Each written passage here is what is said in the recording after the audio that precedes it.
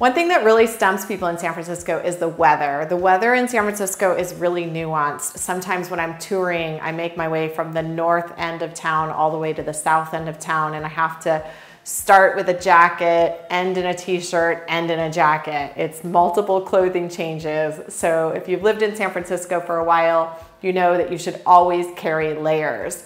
But if you're looking for a home to live, and you want to understand the weather, that can be very difficult. So I wanted to break it down for you a little bit by showing you a map. This map has very general ideas about San Francisco weather and it can be more nuanced than that because even within this map, like an area like Noe Valley shows to be very sunny, but depending on the block in Noe Valley and how close you are to Diamond Heights, you could actually experience more sun and fog. So you can always check with us we're happy to walk you through it. It's also very smart to go and spend some time in the neighborhood and get a feel for it yourself. There's nothing better than your own experience because obviously weather can be very subjective.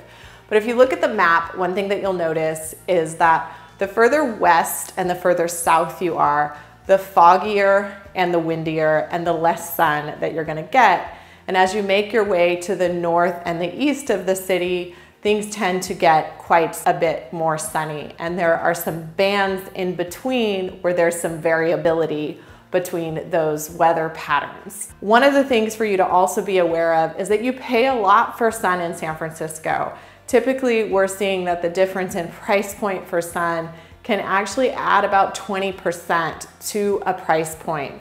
So sometimes when people are very stretched on their budget, and they're trying to buy in a place like the Mission or Noe or Bernal and it's not quite working out, we will be having this conversation with them about how important is sun to you because if you're willing to give that up and move a little further west, then you'll find that you get a lot more for your money. So this is one of the things that we do with our buyers is really help them understand what levers that they can pull in order to optimize their budget for their particular circumstances. If you have more questions about buying or selling in San Francisco, my name is Ruth Krishnan with the Krishnan team, and we'd love to help you.